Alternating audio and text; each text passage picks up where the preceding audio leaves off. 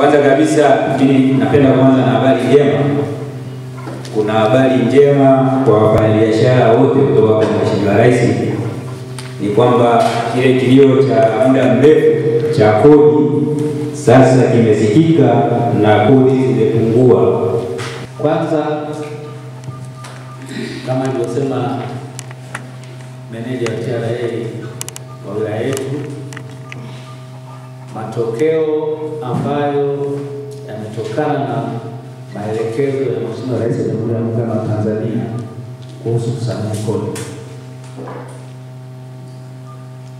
Kwa kipindi kifupi ambacho kero hii imepelekwa serikalini, Mheshimiwa Rais tayari ameshatoa maelekezo. Na mmemsikia meneja wa TRA hapa anasema zile kodi ambazo zimefutwa,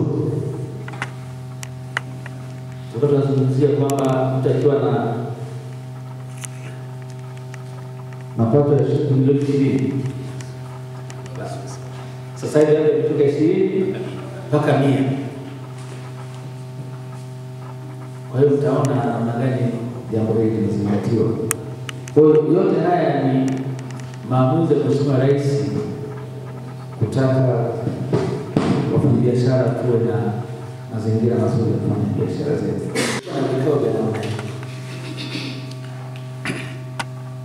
Na wafanyabiashara, nataka niwahakikishieni Mheshimiwa Rais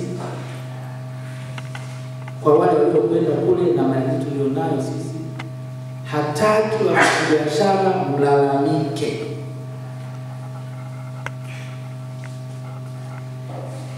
Mkilalamika mna tuweke pabaya sisi wasaidizi wake. Mheshimiwa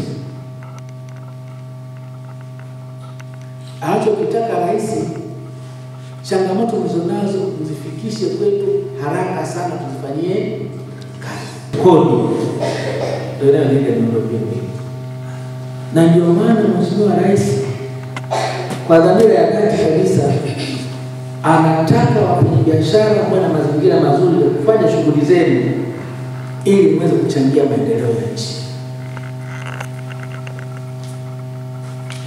Hayo maendeleo yote yanayofanyika ni nyinyi wafanyabiashara.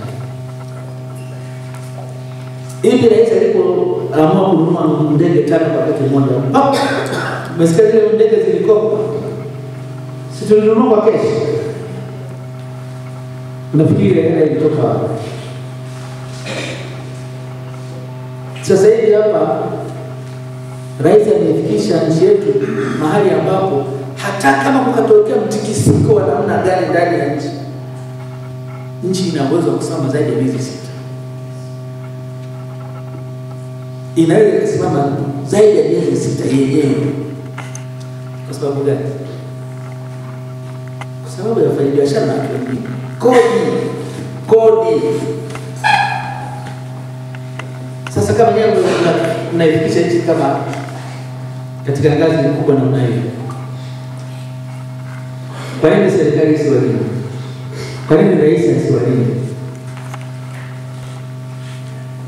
Ndio maana maelekezo tuliopewa tuhakikishe tunasikiliza kero zetu, mabaraza haya ya biashara yawe na vikao, changamoto zenu zinazungumzwa, lakini vivyo hivyo hata hawa mmewasikia wata taasisi za fedha na wenyewe sasa mkiangalia hata zile nanii taratibu zao sheria zao kama zimeanza kupungua makali kidogo, ili kuwa na nani na uwezeshaji mkubwa